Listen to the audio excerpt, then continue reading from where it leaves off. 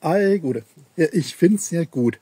Ich habe gerade gelesen, Amazon versucht jetzt in Frankfurt ne, auf der letzten Meile eine CO2-freie Zustellung der Pakete, indem die Sendungen mit der S-Bahn klimaneutral in die Stadt geliefert werden und da kommen dann die Auslieferungspersonen, wie gendert man das?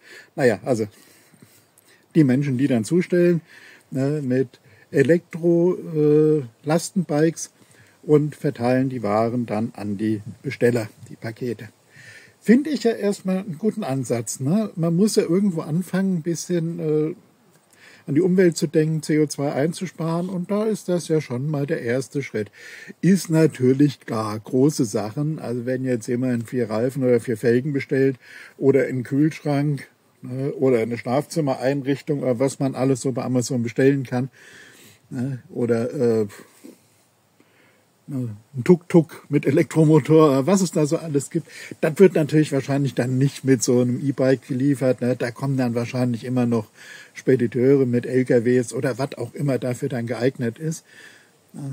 Äh, also wie gesagt, grundsätzlich eine gute Idee. Ich mache mir jetzt keine Gedanken drüber, wie bis zu der Verladestation an der S-Bahn die Pakete geliefert werden. Also die äh, Containerschiffe, die aus China das Zeug dann nach Rotterdam oder Bremerhaven bringen oder wo auch immer ausgeladen wird in Europa, ob die so CO2-neutral dann beliefern, lassen wir mal dahingestellt sein. Die LKWs, die dann bis äh, zur S-Bahn anliefern, man das alles so ausgleichen kann, weiß ich nicht.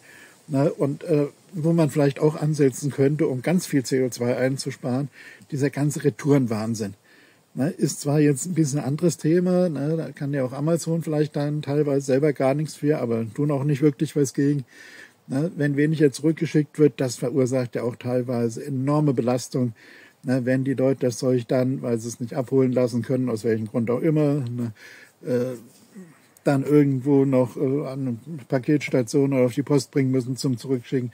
Viele Retouren ist ja bekannt, äh, werden ja sowieso vernichtet oder man will, muss es gar nicht zurückschicken, kriegt's Geld erstattet und bestellt dann entsprechend schon wieder neu und mehr und hast du nicht gesehen.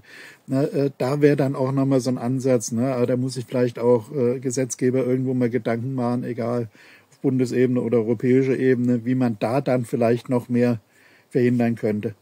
Und was mich auch noch freuen würde, momentan haben wir hier kein großes Problem. Wir bestellen aber auch kaum was bei Amazon, muss ich auch ehrlich sein. Äh, sorgt auch mal dafür, dass eure Auslieferungsfahrer und Fahrerinnen äh, vernünftige Arbeitsbedingungen kriegen.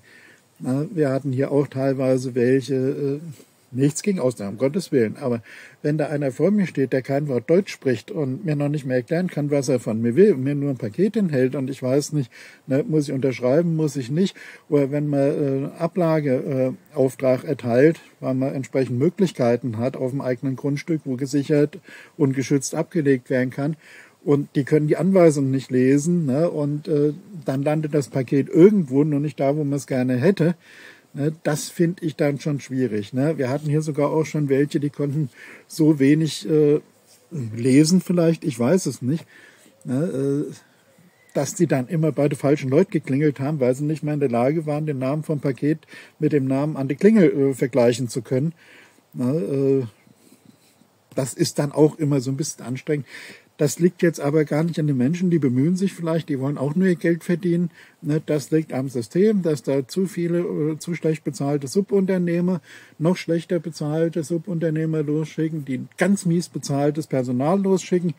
Ne, und äh, da muss auch mal angesetzt werden. Ne, und muss aber die Köpfe von den Leuten, die einkaufen, mal rein Ne, die, diese alles kostenlos und mit Prime kriege ich ja alles kostenlos geliefert ne, und ich kann ja alles kostenlos zurückschicken. Ja, wie soll denn da noch Geld für die Mitarbeiter übrig bleiben? Ne? Irgendwie muss da eingespart werden und das mit Sicherheit nicht auf die Führungsebene von so Firmen. Ne? Aber ansonsten, wie gesagt, Ansatz, das mal probieren. Ne? Wobei äh, ne, sind ja nicht die Ersten, die sowas probieren. Es gab da ja schon mehr Versuche, müsst ihr mal googeln. Ne? Aber grundsätzlich ist das erstmal okay. Hier auf dem Land funktioniert's nicht, haben wir keine S-Bahn. Ne? Und äh, bei den Strecken, die wir gefahren müssen, da verreckt jedes E-Bike äh, nach vielleicht zehn Prozent von der Tour, weil die Wege doch weiter sind. Na, da kann man dann vielleicht über Elektrotransporter nachdenken, die die Post nicht mehr haben will oder so.